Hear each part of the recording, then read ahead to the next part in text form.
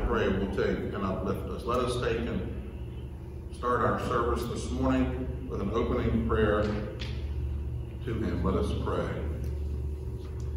Our good and gracious Heavenly Father who makes all things new, we're back to sing how things are all bright and beautiful. And yes, Lord, you are the author of creation.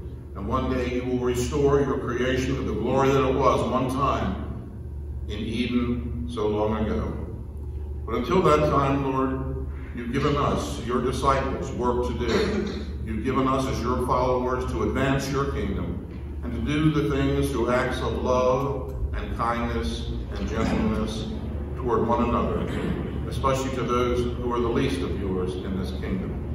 So now bless our time, Lord, that we have together.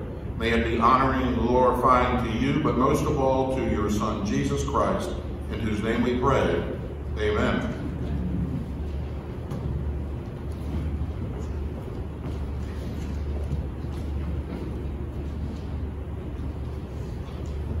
Good morning.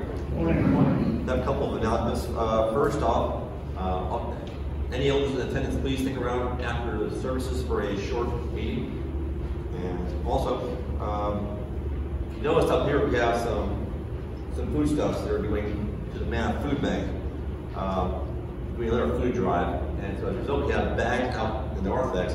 If you can, um, grab a bag or two, fill them up, and bring them in, and we'll have a blessing for those uh, foodstuffs. We take them over to the Manna Food Bank next week. Uh, let's see. Are there any announcements from the floor? Then let's continue. Our call to worship today comes from Psalm 145. I'll extol you, my God and King, and bless your name forever and ever. Every day I will bless you and praise your name forever and ever. Praise the Lord. Is his greatness. His greatness is unsearchable. One generation shall your works to another, and shall declare your The Lord is good to all, and his compassion is over all that is, made. All your works shall give thanks to you, O Lord, and all your faithful shall bless you. The Lord is near to all who call on him, to all praise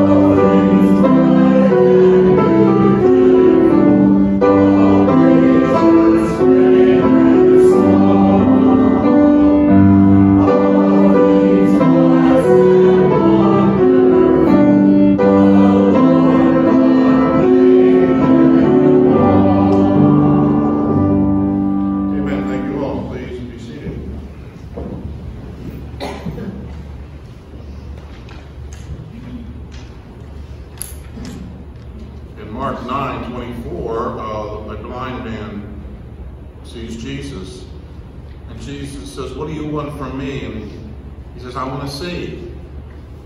And Jesus said, fine, you can see. He says, I believe, but help my unbelief. You tell us, Lord, that we confess our sins, that you are faithful and just to forgive us and to cleanse us from all unrighteousness. Let us pause now and examine our hearts and truly believe that if we do confess our sins, he is faithful and just and he will cleanse us from all unrighteousness. Let us pray. God of grace and glory, the world's problems test our faith. We sometimes look around us and can't believe that all hungry people can be fed. We don't always trust your promise to provide. We don't jump to help when you seek to perform miracles still each and every day of our lives. Sometimes our greatest sin, Lord, is lack of faith. Lack of faith in your promises. We make excuses for our sins, and yes, if we're honest with ourselves, we deny our complicity. Forgive us, Holy God, and free us to serve you, and not the will of Satan and his minions.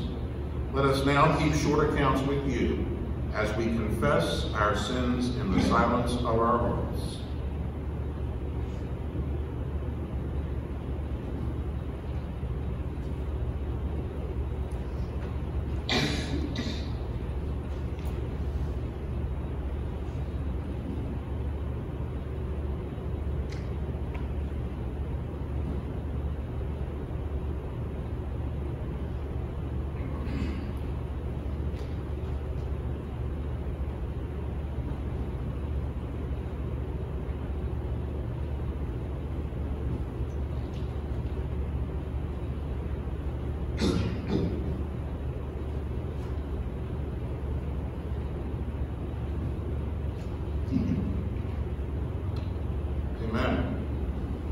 Dear sisters and brothers, the Apostle Paul tells us in 2 Corinthians that if anyone is in Christ, he or she is a new creation. The old things have gone, the new things have come. If we believe that, since it's in the Word of God, then I can tell you on the authority of the Word of God that since we have boldly gone before that throne of grace and confessed our sins, your sins, my sins, our sins are forgiven. For we are forgiven people for the glory of God and his Son, Jesus Christ. Amen. Continuing our worship now, let us affirm what we believe by reciting our Apostles' Creed. Please stand if you're able for that creed.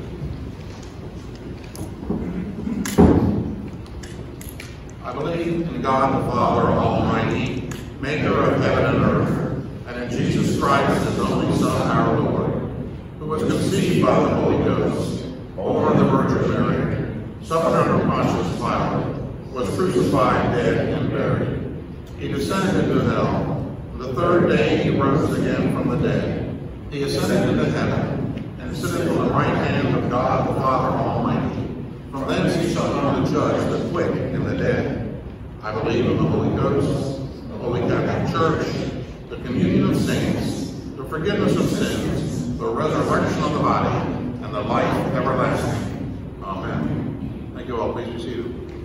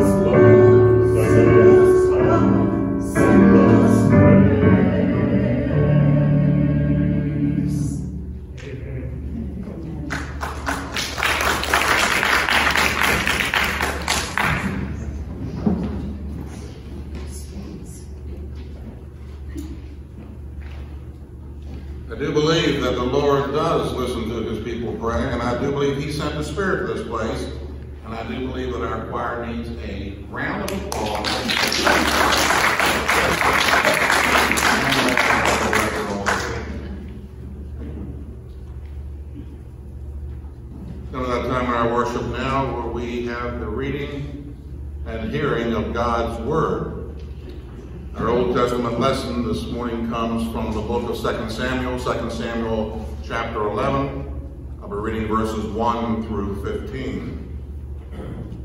By way of background, I think we followed a little bit over the last month the life of David. David, of course, was plucked from tending his father Jesse's sheep. He was anointed by the prophet Samuel to be the, the future king of Israel. He fights with King Saul in the battle. He's victorious over, over Goliath. Saul dies. David becomes king. He's leading his people into victory after victory. But then we have a problem in the reign of David's life. There's the old saying that idle hands are the playthings of the devil. And this is truly the case here because I struggle with this passage of Scripture because what I'm about to read to you somehow contradicts what, what the Bible tells us that David was a man after God's own heart. But then when I see my own life, each and every one of us are just one step away from temptation and fall. And so, yes, idle hands can make playthings of all of us, if you will. David is back in the palace, lolling around, enjoying life, while his military commander, Joab, is out there leading the troops in the battle. And then temptation knocks at David's door. I don't blame Bathsheba here. Quite honestly, I don't think God, in my personal opinion, has ever made uh, a woman not beautiful. I believe all women are beautiful in, in, in, the creation that God made them. So we can't blame Bathsheba here with this. This is simply an immoral lapse in David's judgment, where he becomes guilty not only of adultery, but also complicity and conspiracy and murder. Hear now the word of the Lord, 2 Samuel chapter 11, beginning with verse 1. In the spring of the year, the time when the kings go out to battle, David sent Joab and with his officers and all Israel with him. They ravaged the Ammonites and besieged Rabbah, but David remained in Jerusalem. It happened late one afternoon when David rose from his couch and was walking about the roof of the king's house that he saw from the roof a woman bathing. The woman was very beautiful. David sent someone to inquire about the woman. It was reported this is Bathsheba, daughter of Eliam, the wife of Uriah the Hittite. So David sent messengers to get her, and she came to him, and he lay with her. Now she was purifying herself after her period. Then she returned to her house. The woman conceived, and she sent and told David, I am pregnant. So David sent word to Joab, Send me Uriah the Hittite. And Joab sent Uriah to David. When Uriah came to him, David asked Joab and the people how the people fared and how the war was going. Then David said to Uriah, Go down to your house and wash your feet. Uriah went out of the king's house, and there followed him a present from the king. But Uriah slept at the entrance to his house, and with all the servants of his lord, he did not go down to his house. When they told David Uriah did not go down to his house. David said to Uriah, You have just come from a journey. Why did you not go down to your house? Uriah said to David, The ark and Israel and Judah remain in booths, and my lord Joab and the servants of my lord are camping in the open field. Shall I go down to my house to eat and drink and lie with my wife? As you live and as your soul lives, I will not do such a thing. Then David said to Uriah, Remain here today, and tomorrow I will send you back. So David remained in, so Uriah remained in Jerusalem that day. On the next day, David invited him to eat and drink in his presence and made him drunk. And in the evening, he went out to lie on his couch with the servants of the Lord, but he did not go down to his house.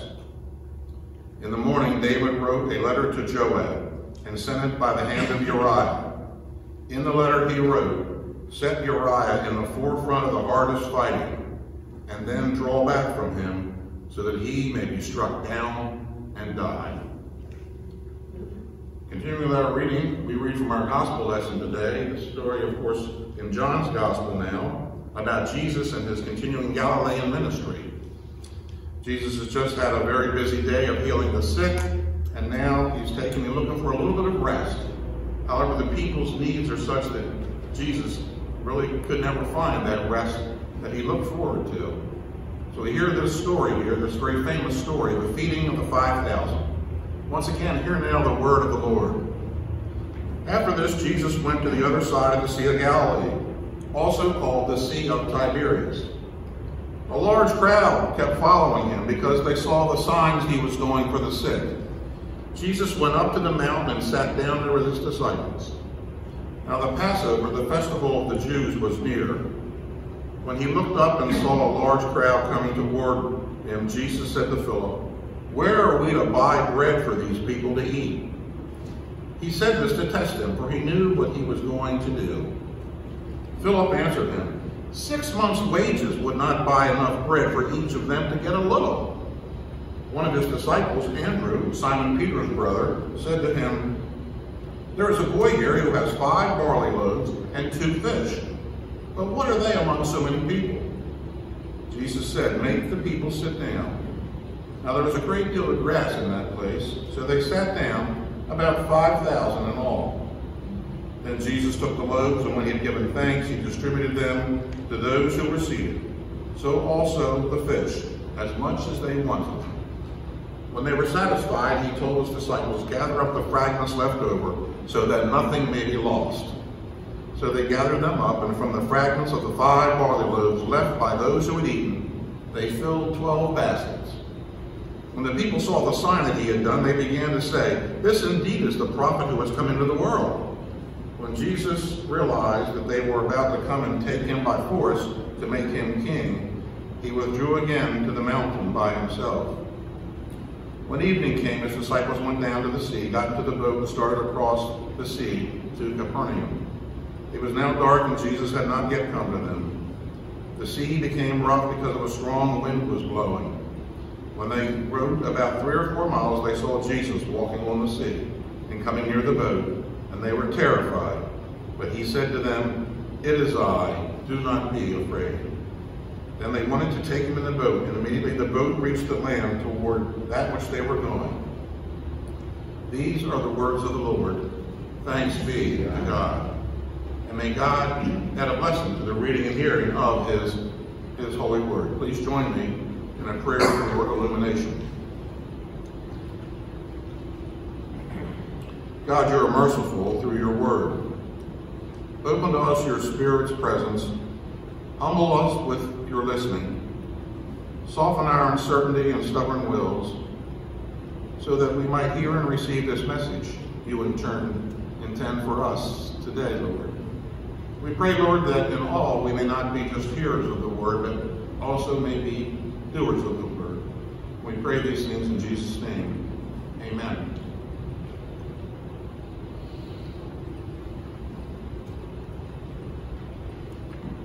You know, we come now to one of the most familiar stories in all of the Gospels. Jesus' miraculous feeding of the 5,000. Part of that familiarity can probably be attributed to the fact that this, this story is the only story that's recounted in all four Gospels. All four of them. The only other story recorded in all four Gospels is the death and resurrection of Jesus Christ. But all four, Matthew, Mark, Luke, and John, record this miracle here, the feeding of the 5,000. And so it sort of makes us take, sit up and take notice that when, when all gospel writers recount the life of the ministry of Jesus here, they are trying to make a very important point. And the important point of that is, is that this miracle, the feeding of the 5,000, is an important teaching not only for his disciples then, but to us, as disciples, 2,000 years since then. It is the title of this sermon that I have this morning, You Give Them Something to Eat. It's recorded in Matthew 14, Mark 6, Luke 9, and of course right here in John 6 that we just read. The story, however, is simply memorable in its own right. As a child learning this in Sunday school, I sat back and began to wonder, how did he do that? Come on now, you know, I can add, and I'm thinking, okay, and I, and I, I, know 5,000 is a big number, but somehow I couldn't wrap my little mind around the fact that it was a miracle. Jesus blessed these elements and he distributed them to the people. It doesn't tell us the specifics, but the context tells us very clearly that there were the disciples with him, okay? And this teaching, this miracle is not only for the disciples, but also for the people. John notes that this area is taking place around the Sea of Tiberias. Whenever we talk about the Sea of Tiberias, we're also talking about the Sea of Galilee. It's also known as uh, the Sea of Gennesaret.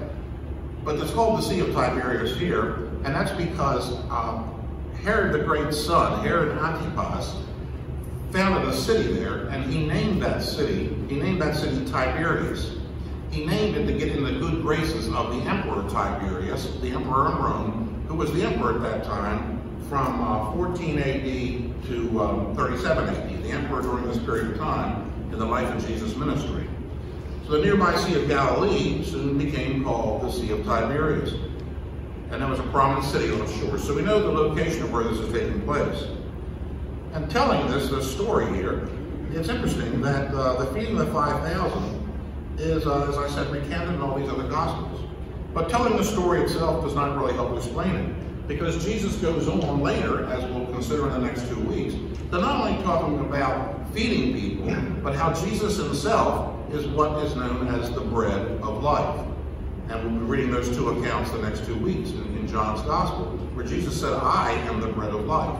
It's one of the seven I am sayings that Jesus has in the Bible. There are reversed of those in John's Gospel.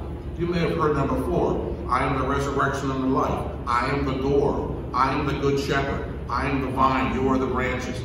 He goes here to say, I am the bread of life. But that's a story for another day.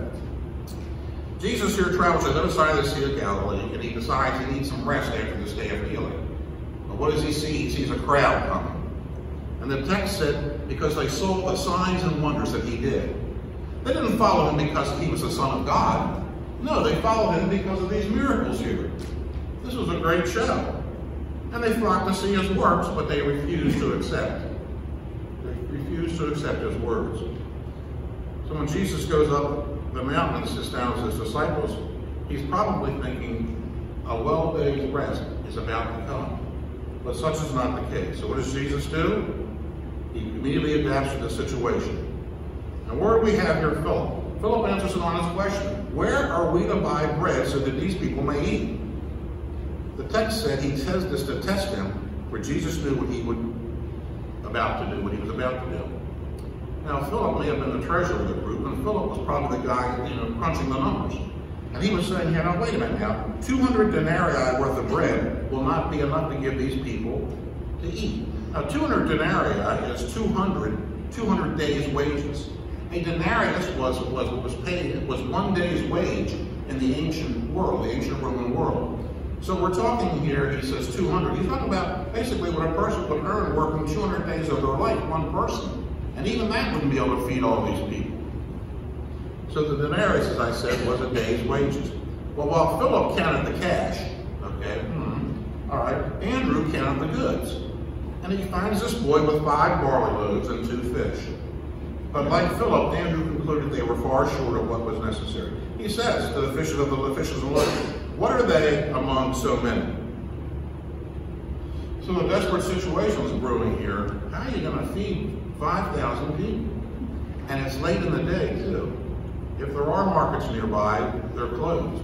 And of course, where's the money going to come from to feed these people that have followed Jesus? This is the fourth miracle that's recounted in John's Gospel. The fourth miracle. First miracle, of course, was Jesus turning water into wine at the wedding feast of Cana. The second miracle, of course, was the healing of the woman who had touched his clothing. The third, of course, was the healing of, of the synagogue leader's daughter, Jairus. And now we come to this present miracle here, the fishes and the loaves. And the desperation was the fact, as I said, that it's late in the day. Where are they going to find this food? Now, certainly there's a parallel in John's gospel with the book of Exodus, where the people, the Hebrew people, while they're in the desert during their 40 years of wandering, they are grumbling too, and they say, what are we to eat? And what does God do? Well, we know God provides manna. He provides that wafer from heaven that provides them seven days worth of food that they eat during that 40-year journey in the wilderness. But as God provided manna for those following Moses, now Jesus is simply saying, have the people sit down. Have them sit down. Now, John tells us there was much grass in that place. That's significant because it highlights the fact that he said this was the time of Passover. And Passover always happens in the spring of the year. So we can take John's account here that obviously the grass is not withered through the sun. The people are sitting there. They're about to have a picnic, if you will. The crowd's about 5,000. That's what the text says. There were about 5,000 men in the crowd.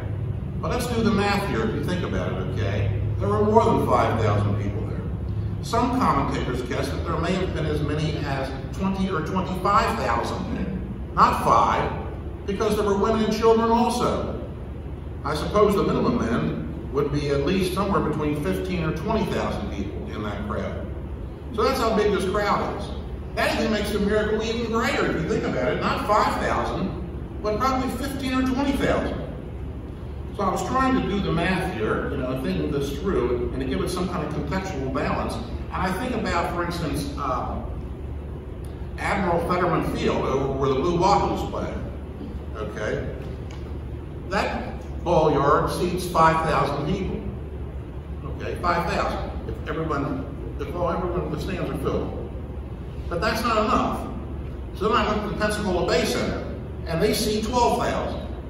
So I'm trying to do the math there. So even if I put 5,000 and 12,000 together, I've only got 17,000. And I sometimes boggle my mind, we're talking about 3,000 more than that possibly? Now as for the miracle itself, he takes the loaves, he distributes it. But first off, he gives thanks. He gives a blessing for the food that people are about to see. And as a result of that blessing, the loaves and the fish are multiplied. Jesus simply performed a miracle. And that's what the text calls it. He calls it a sign. And the sign so impressed people that they thought, wow, this is a prophet. And they set their sights on making him king. So Jesus had to take a withdrawal. And when they speak of the prophet, the prophet, they had in mind the prophet that Moses wrote about in Deuteronomy, where he said, I will raise up for you one day a great prophet who will be your king. The Lord will raise up for you and you shall listen to him. That's a foreshadowing in the book of Deuteronomy in the Old Testament of our Lord Jesus Christ coming. So Jesus surely was this prophet. And yes, he was a king also. He was the king of kings. The only problem was, is that his kingdom is not of this world. People back then confused it. They could take and make him king. He would throw off the Roman yoke of oppression, and consequently, consequently, they would be free. That's not the kind of king Jesus came to be. Christ's kingdom is not of this world. They wanted someone to deliver them from Romans. They wanted an earthly deliverer, but Christ delivers eternal life in his kingdom. Well, what are some applications for this? The Lord does not always give us what we want, but what we need. Those people wanted a king. They didn't get a king, but they got fed for that day. Paul tells us that all things work together for those who love him and are called according to his purpose. Now, we can want many things in this world. We might want power, we might want money, we might want fame, but the Lord has already given us an abundance of his grace. We don't need those other things when we have the abundance of his grace. Because the Lord does not give us what we want always, but what we need. Secondly, we need to seek his will. Look here at Christ as an example. He was seeking a place of retirement for that day. And what did he get? He got another work assignment. Think about that in our own lives. Sometimes we need to take a step aside from the things we do and sometimes we need to rest also. Need to rest also. To a degree so much that, that we should make do with what circumstances come our way. when I was growing up as a child, my mother, my mother always had two rules for vacation travel. Two rules for vacation travel. She would make me put all my clothes out on the bed, okay? And she would say, okay, we're gonna have a good trip, because we're gonna take half as many clothes and twice as much money. She was right. And secondly, she said, Gregory, and whenever she said Gregory, that meant she meant business. Okay, it wasn't Greg, it was Gregory. She says, Gregory, you're going to remember the three C's when we travel. And yes, as a child, I traveled a great deal around this country with my parents. But you remember the three C's. You're not going to criticize, you're not going to compare, and you're not going to complain. No matter where we go, no matter what hotels, motels, or lodging places we stay in, no matter what food we eat, or no matter what people look like or even talk like, we're not going to criticize, compare, or complain. And if we remember those three C's, we will have a good trip. And she was right. The simple fact of the matter is, is that we are to work with what we have and what we are given, not things that we do not have, that we do not have. John Calvin says we're taught by example that sometimes we plan things, we plan things, and we think we know how things are going to go. But God is the funniest guy of all, if you think about it. The best laid plans of men. How many times have you made a plan and then somehow God thwarted that plan? Why? Because God knew best. He knew best. Only in our minds, we thought we were doing what was right. But no. How often sometimes when you get upset when things don't go your way? Or have you considered that maybe God's plans may not be your way or my way? In being upset things don't go your way, are you upset with God? God tells us very clearly, right in the book of Isaiah, he tells us in Isaiah 55, For my thoughts are not your thoughts, neither are my ways your ways. As the heavens are higher than the earth, so are my ways higher than your ways, and my thoughts higher than your thoughts. Yes, friends, God's ways are not always our ways. And finally, finally, we can take away from this to trust in the Lord's plans. Have you ever been in a desperate situation, unable to find a way out of it? You fret and you worry, and, and then you look back at it days later, maybe years later, and you found that some way God provided a way out that you did not know existed. And things never seemed as bad as you thought they would be. Did God not have a better plan for our lives? I do believe. Does he not bring you through all of your troubles? Yes, I do believe he does. God will shatter our little pint-sized explanations of things. And so when Christians are willing to offer their lives sacrificially, I think God is going to use the gifts that he has given us. The gifts he has given us. God uses people today in the same way. If you think about it, in the same way. If you think about things we can do, we can trust in the Lord. Remember that Proverbs 3, 5, and 6? Or 6 and 7, excuse me. Trust in the Lord with all your heart and lean not on your own understanding. In all your ways acknowledge him, and he will direct our paths. If we pray about our paths, somehow God blesses them. But if we try to take our path and then come back to God and say, well, why is it not working out? Maybe God's trying to tell us something. And finally, Philippians tells us, Paul tells us in Philippians, he tells us not to be anxious, not to worry about anything, but by prayer, with thanksgiving, present your request to God. And the peace of God, which transcends all, will guard your hearts and minds in Christ Jesus. Yeah, trust in Jesus, my friends, who alone feeds them. Finally, let me end this with the fact that I said this title, title of this sermon is called You Give Them Something to Eat. You give them something to eat. When I was a member of Baltimore Presbyterian and pastor of a church there for four years, I was the hunger action enabler for Baltimore Presbyterian. And what that involved was coordinating of the 72 member, we had 72 churches in that presbytery. It went all the way from the Pennsylvania line to, to the James River in Virginia, and all the way over to the eastern shore of Maryland, to the mountains of West Virginia. So we had a large presbytery with 72 churches, and I coordinated the feeding programs of all of those churches, whether it was food cupboards, whether it was food banks, whether it was food collection, whether it was feeding programs, whether it was two cents a meal, all of us to take to work together for the common purpose of giving people something to eat. Now, Did we feed 5,000 people? Oh yeah, we did. We fed 5,000 and a lot more. But no one person did it. No one person did it. No one church did it. It was a collective effort of all of those churches. And one time I preached a sermon about how each church can be involved in that ministry. I said collectively we can do more than one could do. And I made the point that back then it was very popular. You may have remembered those bracelets that said WWJD. Remember that? What would Jesus do? WWJD. I said, sisters and brothers, rather than WWJD, make it DWJD. Rather than asking what would Jesus do, do what Jesus did. DWJD. Jesus fed 5,000. We can feed more. And how can we do it? Well, I'll tell you how we can do it. We can't multiply fishes and loaves of bread, but we must not only be hearers, but doers of the word. Faith without works, James tells us, is dead.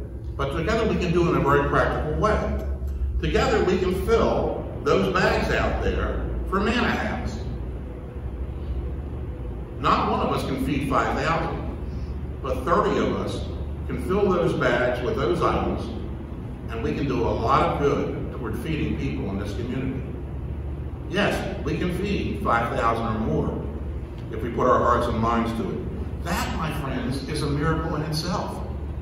That is us giving people something to eat. So my friends, I close with, let's fill those bags. Fill those bags, bring them in here, set them around the altar. We will bless them and we will use that to God's glory to help feed the hungry people in this community. Yes, Jesus gave people something to eat, and it was a miracle. And yes, my friends, you and I can do the exact same thing. To God be the glory. Amen. In the name of the Father, and the Son, and the Holy Spirit. Here with our worship now, we present our gifts to our Heavenly Father through our offering. You open your hand, satisfying the desire of everything. I pray now that God will open our hands and open our hearts as we return a portion of our tithes and offerings and all that He has given us. Amen.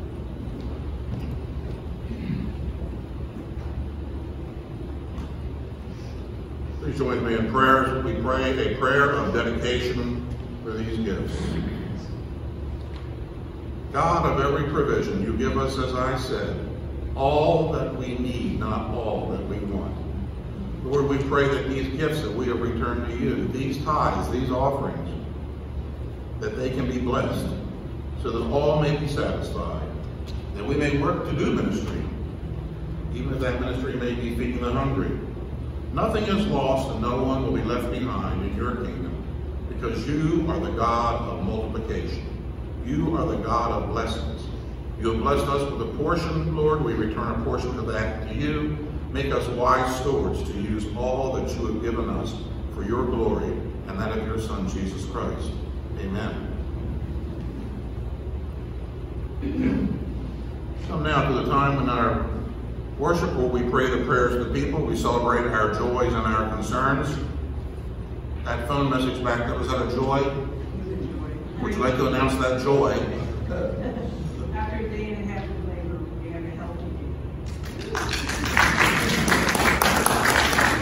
All right. Do we have a name? June. June. Should be July, but. I think June, yeah. Uh, It's, it's, a- it's a girl, so we wouldn't want to call her August. Now, okay, well, praise God for that. That's a joy. Day and a half of labor. Wow. Um, any other joys? You see our prayer list there this morning. Um, the names on it. I can tell you that um, for those of you who don't know about Carol McElroy, Carol uh, went to the emergency room on Wednesday in, in severe pain, and she was operated on for a, a kidney stone, a big kidney stone, that they had to blast away, and so she was in extreme pain, and she's been on pain medications for the last four days. But then yesterday she told me that uh, she's now down just a Tylenol. So um, I've never had kidney stones, but I've known enough people who have, and they are very, very, very painful, and so we need to keep um, Carol in our prayers also. And anyone else in our prayers we need to think about. And if not, then let us take and pray the prayers of the people, our joys and, and, and our concerns here. Let us pray. Lord, how can suffering end and all the world end? How can pain ease? How can grief end? How can hunger be ended?